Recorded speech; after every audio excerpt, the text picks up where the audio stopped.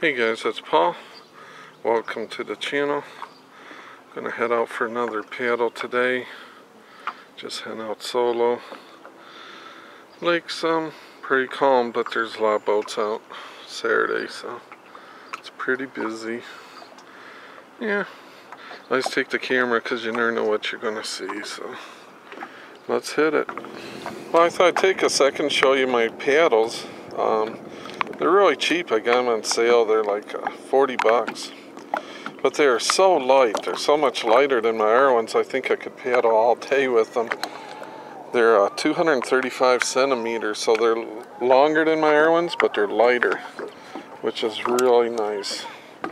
And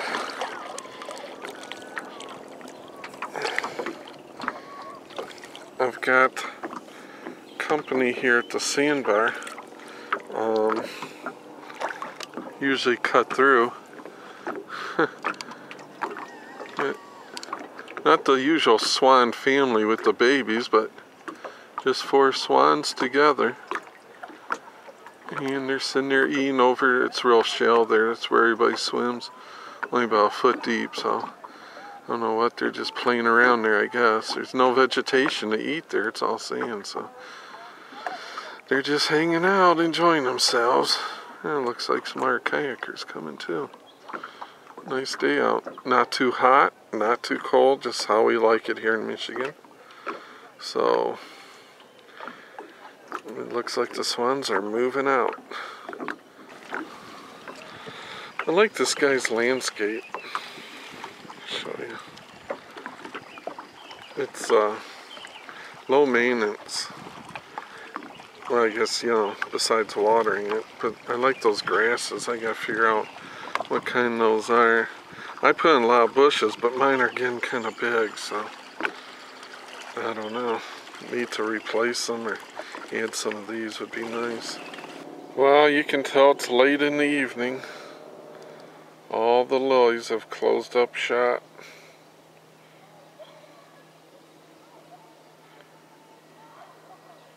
Just barely open. Getting ready for the night.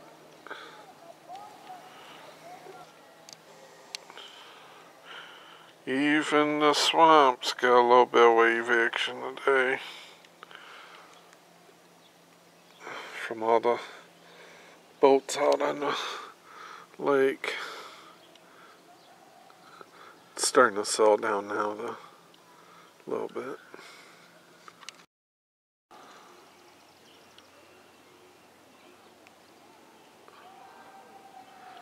But that's what I like about my kayak, you know.